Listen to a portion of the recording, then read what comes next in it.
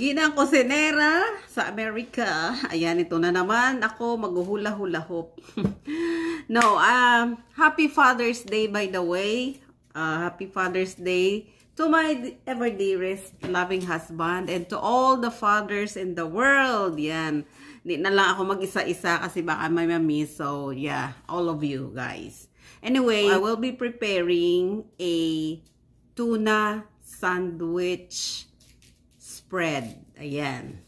Usually, my husband is the one preparing this because he really does it so good.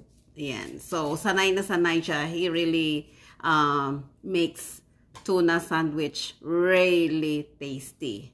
But since it's it's it's uh it's Father's Day plus uh I've watched uh Richard Gomez It's very timely because while I was boiling the eggs for this recipe, I was able to watch his video making tuna sandwich spread. So with that, shout out Idol Goma, Goma at home. Ayan, uh, Richard Gomez. Ayan, gustong gusto ko talaga yung vlog niya or yung, kasi yung kusina niya sa labas and then just you know, maganda talaga yung setting ng bahay nila at yung pamumuhay nila doon. So anyways, uh, so yan na nga. So simple lang naman ito. Ang gagawin natin, gagawa ako syempre ng tuna sandwich. Yung ginamit, ito yung ating gagamiting ingredients. Ayan. Okay, disclaimer. This is not a sponsored video. So ito yung gagamitin kong tuna. Yan, ito yung uh, chunk light tuna and vegetable oil. Kasi mayroon yung in water. But my husband loves to get this one. Ayan.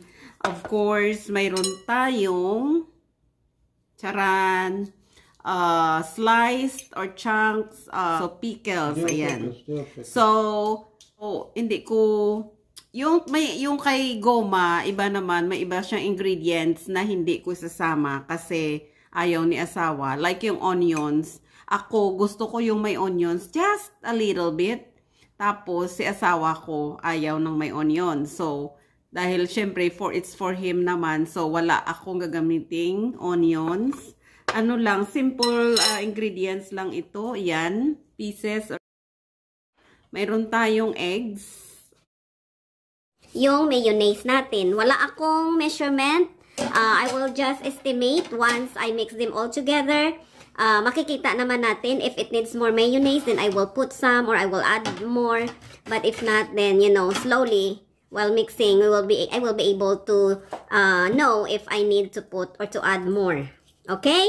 So, syempre, ayun, hindi na rin ako maglalagay ng salt or pepper Although, yeah, some would add uh, salt and pepper. But this one, ay wag na. Kasi ayaw na ni asawa yung may ano. Kasi ano na daw, nakatimpla naman na ito lahat. So, yun na yung gusto niya. But if you want, guys, pwede nyo naman lagyan ng uh, ground black pepper or a little bit of salt. Pinch of salt or whatever. Kasi ito, masarap na po ito. Yung ganitong timpla, masarap na po ito. Uh, tapos, hindi na ako maglalagay ng citrus juice kasi ito, medyo maano-ano na rin siya. Maasim-asim. In fact, minsan, nung gumawa ako minsan, parang akin lang, parang kung ano-ano nilagay ko. Tapos, nilagay ako sa isang ganito na teaspoon or tablespoon.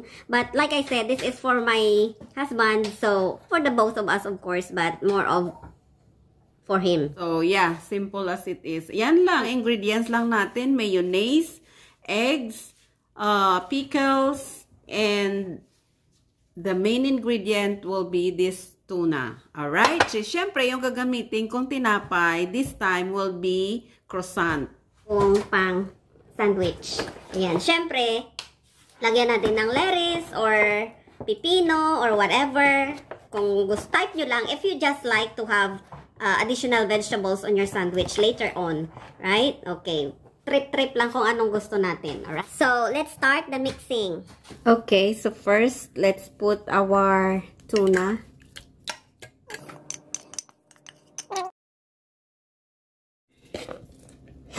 So, yan.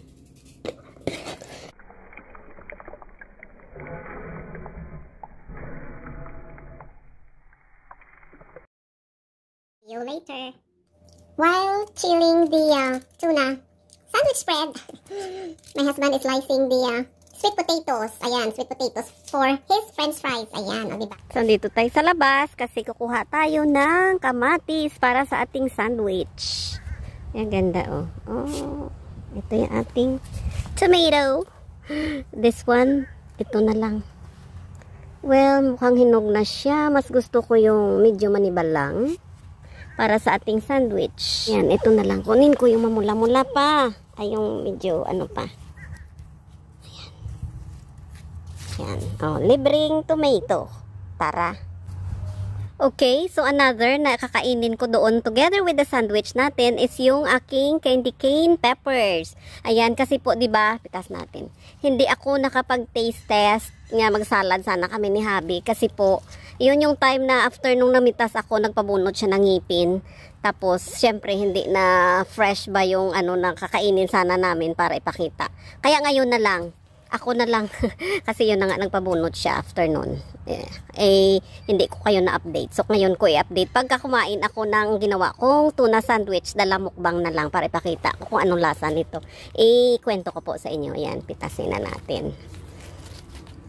Yan isa lang. Tinan nyo guys so multicolored uh, pepper. Yan minsan ganyan yan siya oh. diba?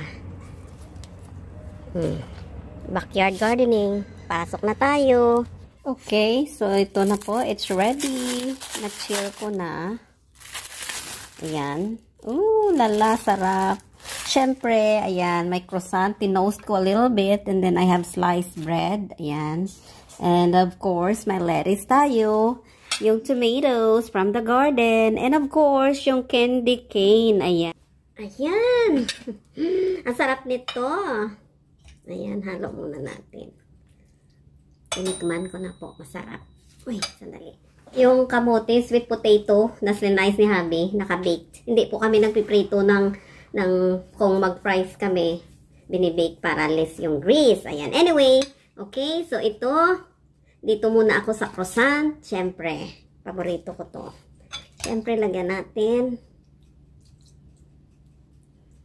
si asawa. Ayaw niya humarap sa camera.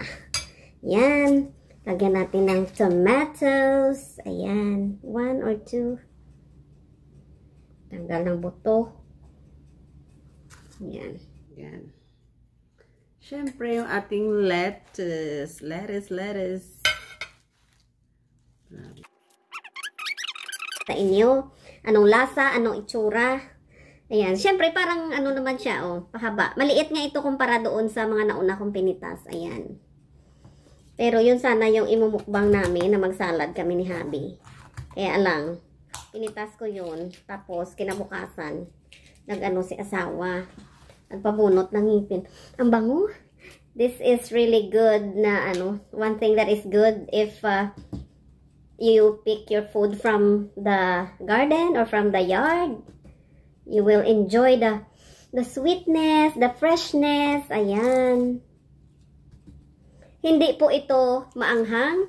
Iba din yung ano niya, yung lasa po niya. Kasi syempre natikman ko na. Pero sige, kainin ko muna uli ito. Tsaka ipakita ko po sa inyo. Uh, ano po siya? This uh, candy cane pepper is... A snack pepper. Ayan. So, pang snack pala siya. Siguro parang like carrot, celery, ganyan. Mm. Guys, parang hindi siya pepper. Hindi ko maano kung anong pwede kong i-describe. Masarap siya, guys. Parang, ano ba? Matamis na. Ano ba pwede kong ihalin tulad? Prutas na matamis. Na crunchy. Uh, actually, pwede nga dito ihalo oh, sa sal. Kaya nga pwede dan dyan. Kaya lang, syempre, may asawa, may bahala siya kasi meron pa naman. Kaya, Kuma kumakain ako, nag-garden ako or sa umaga, pipitas ako tapos kakain ko, ngata-ngata, parang may sweetness siya. And at the same time, hindi naman yung tamis lang, basta masarap siya. Oh my. Mm. Try nyo da, guys, yung candy cane yung pangalan. I-grow. Oh my God. Another thing na napasarap, kasi, syempre, ako ang dito pinitas. Kasi syempre kung sa iba, iba rin syempre. Pareho ng lasa pero alam mo yung inilagaan mo yung halaman na wala ka namang nilagay na kung ano, di ba? Mm. Anyway, nakafocus na. Kasi ang sarap, guys. Mm. Ang lutong ano po, malayo nga yung camera eh. Anyway,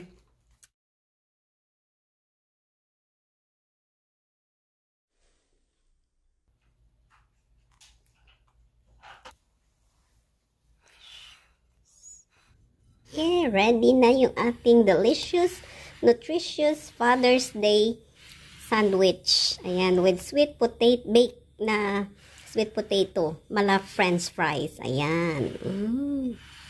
Tig-isa kami ni Habi ng ganito. Ayan. Ciao, ciao, ciao.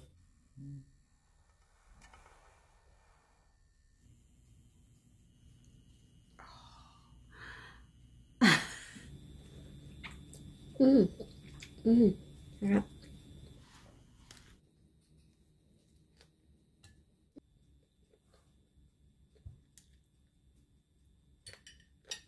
Yung candy cane pepper, ang crunchy, ang sarap. masarap. Ayoko yung dry na ano, na tuna sandwich. Naka, naka-apron pa pala ako. Hayaan nyo na po. Pasensya na po. So, thank you. God bless. And always, thank you so much guys for all your support. Ayan, and your uh, subscription. Thank you so much for staying connected. Alright? Okay, happy Father's Day po. God bless and stay safe.